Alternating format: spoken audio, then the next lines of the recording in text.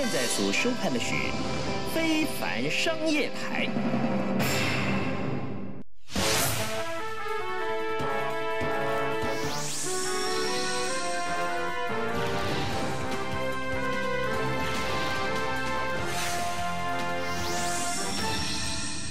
观众朋友，大家好，欢迎收看《非凡股市周报》。每个礼拜天晚上八点到九点，在非凡商业台跟大家锁定；而九点我们也会准时在非凡商业台的 YouTube 官网当中将发烧影片上架。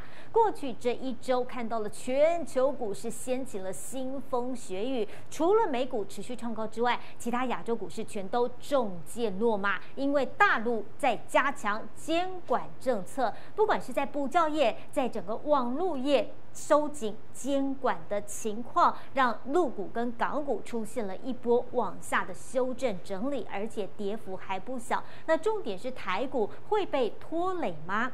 尤其是这一波在暴跌之后，礼拜四迎来了一个暴涨的行情，在这里股价未接，是不是真的已经整理完毕了呢？而至于在船产当中，还有电子的资金比重当中，很明显看得出来，电子又再度的吸金。而过去这一周，尤其是礼拜五看到了在联电的部分领军电子股上攻，那现阶段是不是整个在整个摩尔定律要被翻转的情况之下，让联电的 CP 值会比台积电要来？的高呢？而苹果财报虽然缴出了满分的成绩单，但是公司出面示警说晶片荒有可能要特别小心，留意今年的换机潮。那到底瓶盖股又会有什么样的表现？今天现场我们邀请到两位专家，首先来欢迎的是李冠清，冠清你好，小叶好，大家好。好，冠清过去这一周，呃，不管是在股市现场后，或者是在盘中的连线当中，都已经一再的提到了，在整个半导体主流意。位的状况，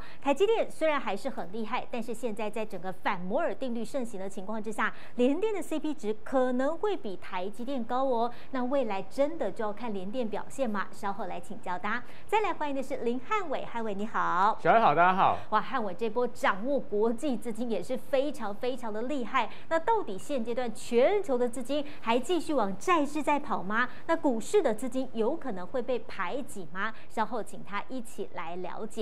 好，过去这一周，我们看到了台北股市的确出现了比较大幅的的震荡，因为大家都在担心这件事情。不过，联准会在会议记录当中公布出来之后，的确有暗示缩减购债的时间相对近喽，因为经济已经呈现了长足一段时间的稳定成长。不过，鲍尔还是有重申，距离升息还有很长的一段路要走。不过呢，亚洲的风暴来自于在中国大陆，中国大陆现在不管是对于要到美国来上市的这些中资企业，或者是在科技产业跟教育产业，现在大手笔的在进行整顿。虽然中国说他们并没有要刻意的打压股价，但是看到了对于股价来讲，的确产生了比较大的冲击度。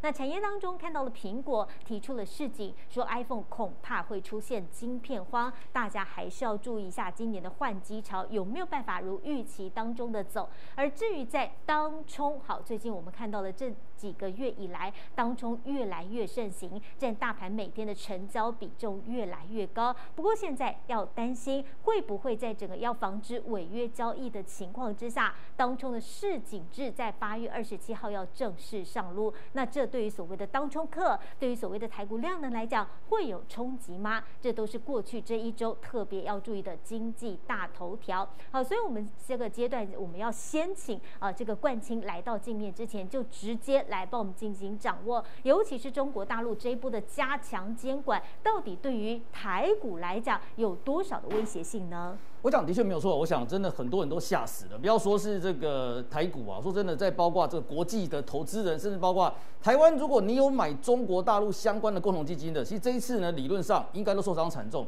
因为毕竟它所监管的这些，不管是腾讯啊、什么新东方啊、好未来这些其他的公司，甚至包括什么滴滴出行，好像如果你只要是中国基金啊。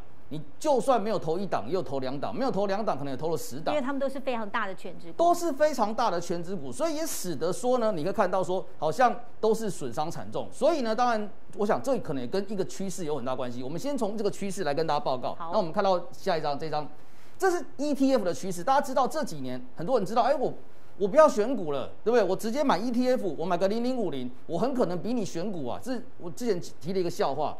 大家知道这一机器人选股啊，在今年三哎六月初有一个统计资料，一年下来报酬率三成。三成啊？对。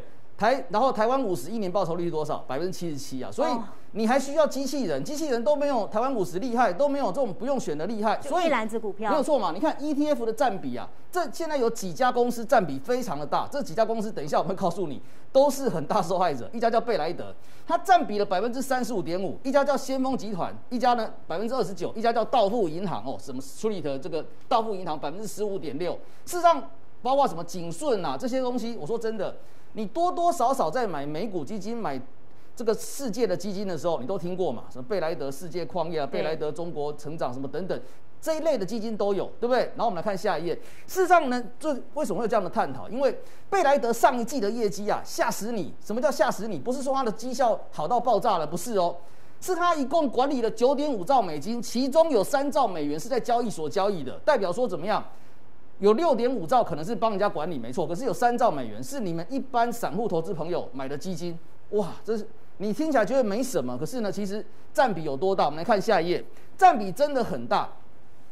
贝莱德、先锋领航跟道富，刚刚我们讲的三巨头嘛，它目前为止这是中国，这是美国资料而已哦，拥有标准普尔五百指数的成分股里面百分之二十二的股份呢。这很多大股东说真的，不要说持有二十二趴，百很多大股东持有百分之五都笑很久。你看这一次东元的董监争夺战，就是因为持股很低才会有这种情况嘛，对不对？原先以为哎敌人是保家，后来发现到敌人是自己的儿子啊，对不对？持股要到百分之二十二，所以这一些的一些大的一个基金啊，除了说在公司的投票权里面占了很大比例之外。重点是他们要怎么操作，对不对？那你看到两千零八年也不过才不过十几年前而已哦，对不对？十几年前的时候才十三点五，足足增加了百分之十左右，对不对？我们来看下一页，事实上也包括说这些基金们，我们为什么告诉你，对不对？大韭菜，韭菜有分大小的，对不对？小小散户叫小韭菜，法人会变大韭菜呢？一般的想法是怎么样？持股比例上升呢，对不对？市场的波动会因为这一些大韭菜啊，哦，这些这些应该说这些大法人的买卖，你会担忧到，而且这基金是被动买卖，行动往往一致。但是呢，这研究有意思了，有一个有一个研究，他们出来研究，哎，不是这样子哎，他说这些基金呐，它反而是我们看这下一页，反而是什么？这叫做什么？机构所有共同所有者的信息优势，对不对？他说股价崩盘的时候不会跑，哇，惨了。跑最慢呢，变跑最慢，也就是说，其实很多人早就有闻到中国大陆要监管这些教育，要监管这些什么腾讯音乐啊，什么滴滴出行，甚至等等的东西，他们都知道。包括我相信软银，软银是滴滴出行的其中一个大股东，他都知道了。但是因为怎么样，他们认为是虚假讯号嘛，对不对？所以你会看到学者认为，因为信息优势的关系，成为市场的稳定者，避免出现在虚假讯号时卖出。那结果呢，变成什么？最后一只老鼠，软银就是一个很好很好的例子，因为他觉得哎，监管都假的，对不对？他没有去注意到别人怎么看，所以我们来看下一页，中国监管的出招。这几天呢，其实当然这新闻写了很多，我们只是把它条列式标题列一列。教育改为改为非盈利啊，哇，为什么？因为中国大陆现在出生人口太少，你要多生几个，中国大陆的补习费用什么都很贵，所以呢。如果改非盈利的话，哎，是不是大家负担减少了？我们都希望所有的公私立这个幼儿园全部改成非盈利嘛，这不是很好吗？但台湾能不能这么做？不能啊。可是中国呢，可以呀，对不对？另外怎么样？重罚腾讯嘛，他去终结腾讯音乐独霸市场的音乐版权，因为这个动作，腾讯也跌得非常的多。不过呢，他说我们不是说要干扰你的市场啊，所以腾讯有涨回来一些。另外要怎么样？中国网信之前啊，他去反对滴滴出行到美国上市，就滴滴出行呢不甩中国网信。就你一上市他跟你讲什么？他说：“哎，你把我们在中国的这些行车资料外流到美国去了哦，到底有没有这回事？我们是不知道。可是事实上，这种情况发生机会好像不高哎。我们只有听说过在某某手机里面装后门城市，把东西移回中南海去。我没有听过这个东西啊。所以你看到对不对？很好笑啊，对不对？然后怎么样？最近这最新的这个叫什么？维护外卖送餐员权益，我觉得这很对。但是怎么样？对不对？美团之前因为。疫情关系涨翻天，涨好几倍。今年跌了多少下来？跌了好几层下来。我们来看下一页。事实上，当然啦，中国证监会告诉你，我们不是在打压商业，不是什么所谓的国进民退哦。他有跟券商表示说，他会允许啊中汽在美上市，不像滴滴，我说我不让你上市，你还去上市，我给你制裁。我们没有没有这样子，是说这个这是撤出例外条件。然后如果怎么样，他们符合所谓的一个上市条件，对不对？那我们也给大家看到什么？我说真的，我特别去帮大家查了一下这些呢。这家叫什么？高瓴资本这家公司跟中国关系非常好，因为他创办人叫张磊啊，他本身就是中国叉叉大学的校长出来的，对不对？哦，那某某大学这我们就我记不清楚了，对不对？他跟政府关系很好，结果呢，你看到这些所谓的贝莱德什么，他们都不去问哦，哎，P.O. House 叫做高瓴资本，对不对？五月底啊，它已经不是好未来跟新东方的前十大机构法人，这两个是呃大陆很大的教育机构，对，都不是。其实二月底它出新好未来，对不对？当时好未来多少钱？八十元。那我们来看下一页，谁谁变韭菜了，对不对？好玩啊，谁变韭菜了？这个是高瓴资本的一个持仓哦，好未来，你看到哎没了嘛，对不对？那这个新东方它更早就没有，不过新东方它要买一些回来，它要买一些回来。但是谁变成韭菜了？其实我们有有另外另外两张，现在的最大韭菜就是我刚刚所提到的，对不对？刚刚所提到，不管是道富。道富啊，还有包括什么所谓的一个贝莱德，还有包括我们刚刚讲到这个什么这个 Vanguard 所谓的一个先锋，这三家公司现在是新现在是好未来跟新东方的一个应该说机构法人里面的超级大韭菜。所以你看到我们回到刚刚这个字卡，对不对？他们当初就不去看，不去看这个高瓴资本多厉害，对不对？人家今年二月底已经告诉你出清好未来，他们一定是之前就听到什么，他出清的价格是八十元，甚至新东方，我们发现到啊，新东方其实挂牌挂牌前后啊，这高瓴资本就出很多了，而且很好笑是，这个网络上你去 Google 就知道了，高瓴资本的这个创办人啊，他有提到说，哎，这个教育是什么百年事业那一类，说不只。怎么不是在买卖的？来，我们来看一下，就就这个新东方，以目前为止申报的法人持股，相信现在少很多了，因为这几天不是他们砍是谁砍？散户怎么会买这种股票呢？投资者，贝莱德对不对？这个大家听过，斯罗德你也听过嘛？摩根大通你都听过嘛？先锋集团你也听过嘛？对，戴维斯你就比较没听过，对不对？我们来看下一页，事实上也包括，对我们刚刚讲到的，对，景顺你也听过吧？瑞你也听过，来，道富出现了，对不对？哦，标准人寿安本，再来看一下好未来也是一样，实际上好未来也是，你看。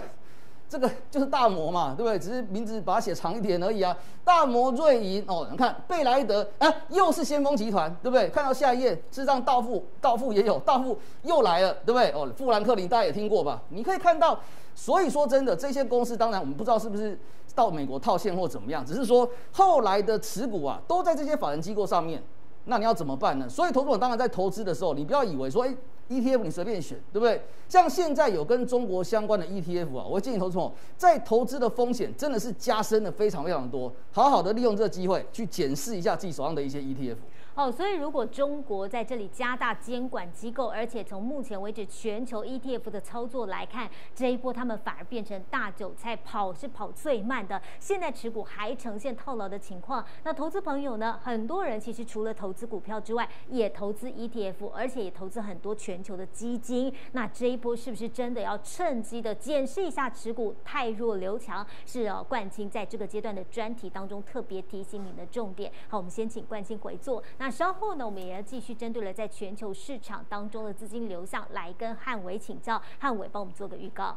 对，那全球部分的话，其实最近这两礼拜我觉得有点风雨飘摇的一个味道，因为。到底联准会什么时候缩减 QE 是目前是成为市场讨论的一个重点。但我们从几个大的方向的资金面来看，到底最近国际股市入股的修正、台股的拉回、美股的震荡，你下礼拜要不要担心？这是今天要跟大家分享的重点。好，非常重要。到底联准会的这篇会议记录透露出来什么样的讯号？我们稍后告诉你。